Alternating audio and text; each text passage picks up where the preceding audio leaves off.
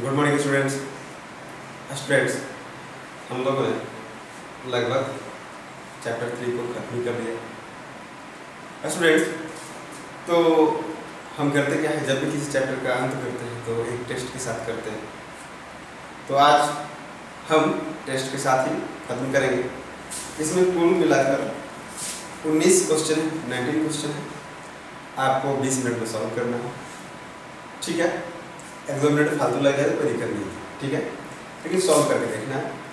मैं दिखाऊँगा। उससे पहले पॉइंट्स टू रिमेंबर एक बार फिर से मैं रिकॉल करवा देता हूँ कि जो जो पढ़ाई हुई है तो उसमें से क्या इम्पोर्टेंट पॉइंट्स था।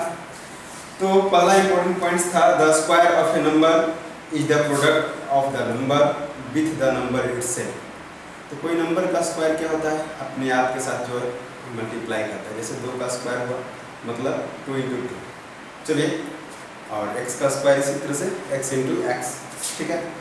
और natural number n is a perfect square if n equal to m square ठीक है? कोई भी नेचुरल नंबर एक परफेक्ट स्क्वायर होगा जब n equal to m square जैसे आप ले लीजिए, कोई natural number n equal to sixteen ले लीजिए, ठीक है?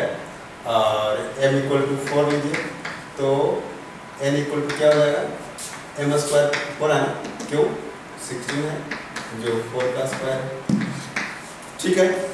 और यही से कॉन्सेप्ट आता है स्क्वायर चलिए हम आगे बढ़ते हैं।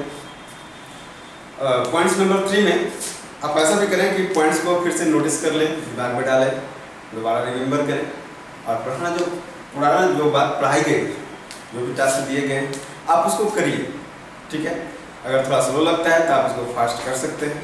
प्ले लिस्ट में जाइएगा और प्ले यूट्यूब प्लेयर में और उसके बाद वहाँ पे टू क्रॉस फास्ट कीजिए और पूरा वीडियो भी देखिए ठीक है? तभी वीडियो का मज़ा आएगा और तभी पढ़ने में भी मन लगेगा। क्योंकि बहुत सारे इंपॉर्टेंट्स बात जो है, जो पीछे वाला जितना वीडियो है, सभी में दिया गया है। ना? तो फिर पॉइंट नंबर थ्री में आते हैं। A number ending with two three seven and eight two three seven eight ठीक है? ये जो नंबर है, इससे ये नंबर से इंड करने वाला जो भी नंबर हो, कोई भी संख्या जिसके यूनिट प्लेस पे टू हो थ्री हो सेवन हो, और एट ये कभी भी परफेक्ट स्क्वायर नहीं बनता ठीक है? आप कोई भी नंबर लेके चेक कर सकते हो। मैंने इसे पढ़ाया भी है। चलिए, अब आते हैं। A number ending in an odd number of zeros is never a perfect square तो कोई भी नंबर जिसके अंत में तीन ज़ीरो लगा हुआ, ठीक है? वन या फिर यहाँ पे रख दो टू या फिर लिख दो ट्वेंटी वन ठीक है? उसके बाद फिर लिख दो, नहीं हो तो फोर ही लिख दो। चलो, ठीक है? अब नहीं होगा तो सिक्सटीन लिख दो। कुछ भी लिखो। तीन ज़ीरो है लास्ट में तो वो परफेक्ट स्क्वायर नहीं होगा। इसका मैंने कारण बताया था। मैंने प्रीवियस वीडियो में बताया था कि क्यों नहीं होता। चलिए five number five five point में है क्या?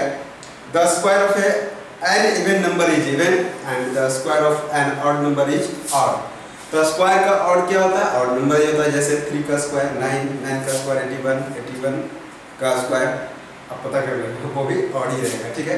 इसी तरीके से टू का स्क्वायर फोर फोर का स्क्वायर सिक्सटीन सिक्सटीन का स्क्वायर आप पता कर लो टू फिफ्टी सिक्स उसका स्क्वायर चेक कर लो, हमेशा इवन ही रहेगा, ठीक है?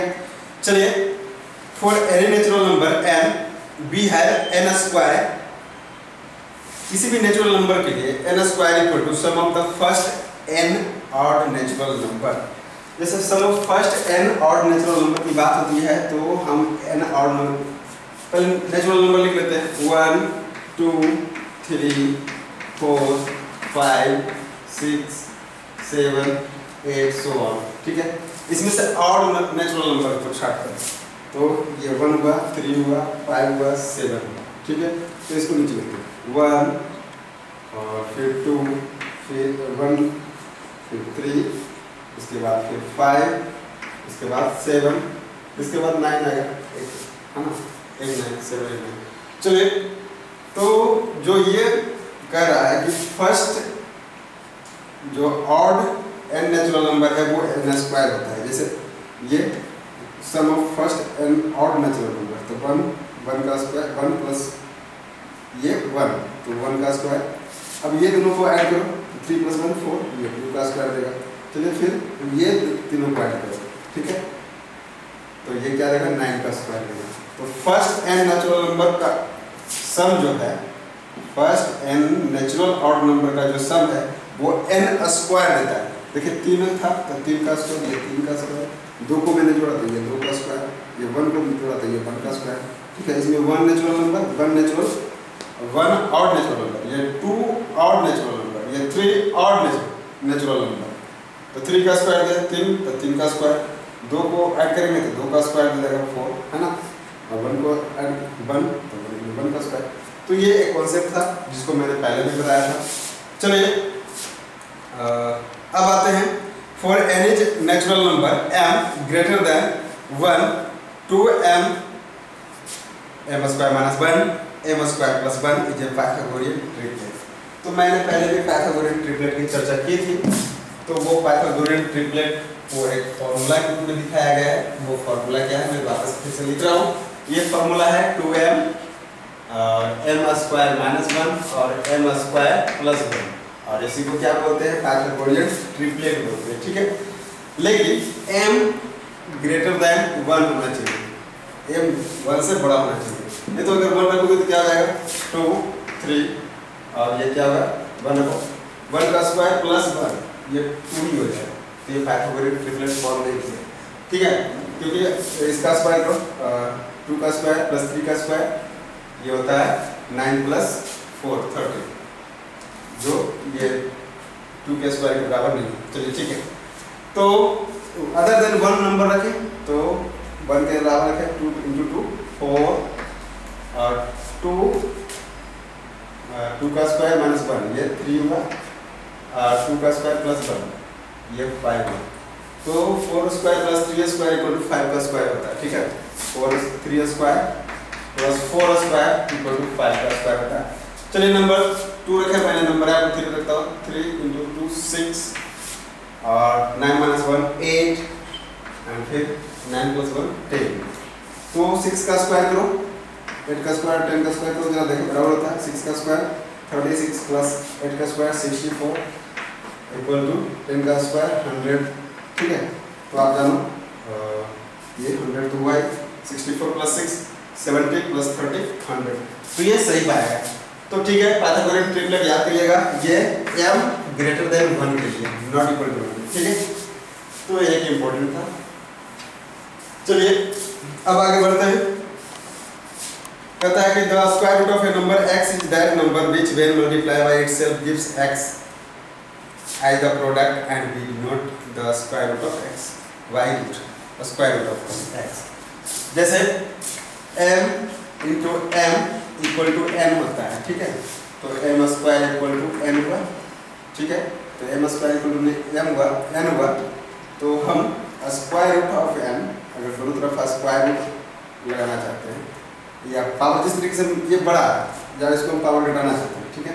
तो पावर अरेंज करो वन बाई टू तो m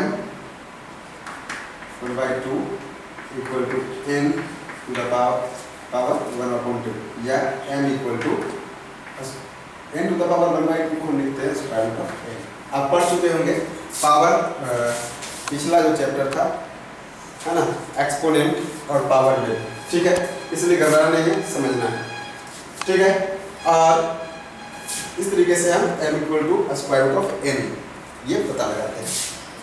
चलिए, और इसी को क्या बोलते हैं? इसी को स्क्वायर रूट बोलते हैं। ठीक है, इसको पढ़ा जाता है स्क्वायर रूट ऑफ़ एन जो एम के बराबर होगा। स्क्वायर रूट ऑफ़ एन जो एम के बराबर होगा। चलिए, अब नेक्स्ट में मैं आता हूँ। In order to find the square root of a perfect square resolve resolve it into prime factors make pair similar factors and take their product as a prime factors choosing one of और जैसे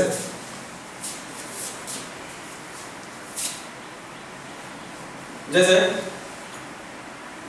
36 है ना? तो 36 का square root निकालना था तो हम क्या करते हैं? तो अगर हम प्राइम फैक्टराइजेशन मेथड के तरीके से जाएँगे तो 36 को लिख सकते हैं। थर्टी सिक्स को क्या लिखेंगे? Two multiply by two multiply by three multiply by two ठीक है?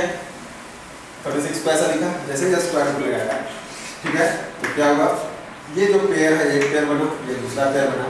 तो हम इसको लिखते हैं स्क्वायर रूट से हटा के, चूँकि दो है तो इसमें से एक एक आएगा और इसमें से भी एक बाहर आएगा सिक्स बस यही कर रहा है। चलिए नेक्स्ट में है, चलिए ten number number ten point है क्या?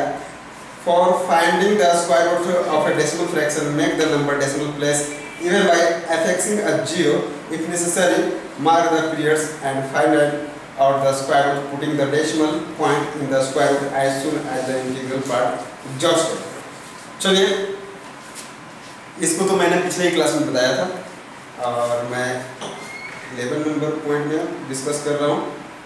For positive number a and b b है। किसी भी पॉजिटिव नंबर के लिए, अगर कहीं लिखा हुआ है square root of a into square root of b इसको लिख सकते हैं। Square root of a into b ठीक है? और फिर इसी को इस तरीके से भी लिखा गया कि square root of a multiply by square root of b इसको हम लिख सकते हैं square root of a upon b ठीक है? या फिर हम उलट के भी लिख सकते हैं। या उसको पहले लिखे इसको बाद में लिखे तो ऐसा होता है। For a greater than zero और बी ग्रेटर देन ज़ीरो मतलब ए और बी दोनों पॉजिटिव होना चाहिए। ठीक है?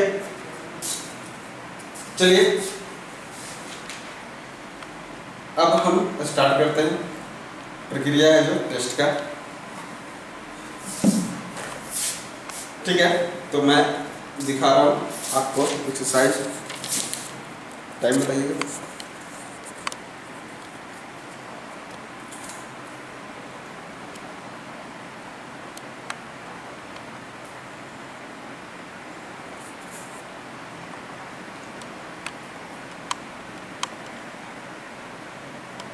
और इसका एक्सप्लेनेशन हम नेक्स्ट वीडियो में कर रहे हैं, ठीक है? आप जल्दी से इसका टेस्ट दीजिएगा पंद्रह मिनट में और पंद्रह मिनट में टेस्ट देने के बाद आप पंद्रह नहीं उन्नीस क्वेश्चन है तो बीस मिनट चाहिए, ठीक है? मिलते हैं नेक्स्ट क्लास में इसी को पार्ट में।